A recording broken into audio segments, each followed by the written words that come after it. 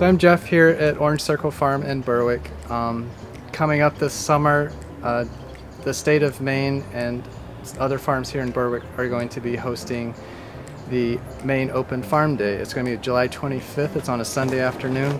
Hopefully it's good weather. Um, usually is that time of year.